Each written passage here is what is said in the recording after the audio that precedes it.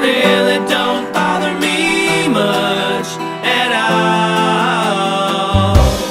Much at all.